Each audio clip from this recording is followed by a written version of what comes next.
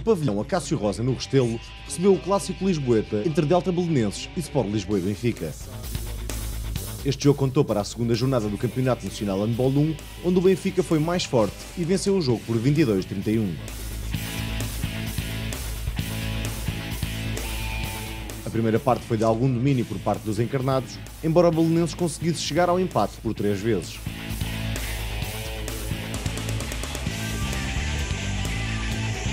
O Benfica foi recuperando o marcador e ao intervalo estava com uma vantagem favorável de 4 golos sobre o Belenenses.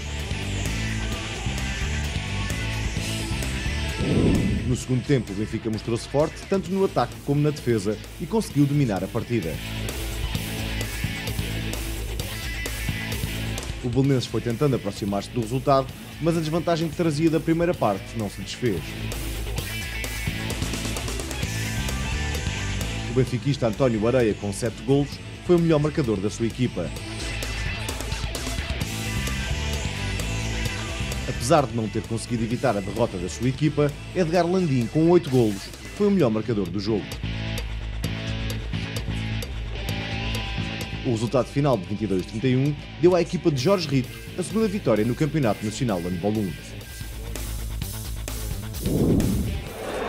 Sim, foi um jogo como nós esperávamos, com bastante resistência e empenho por parte da equipa do Belenenses.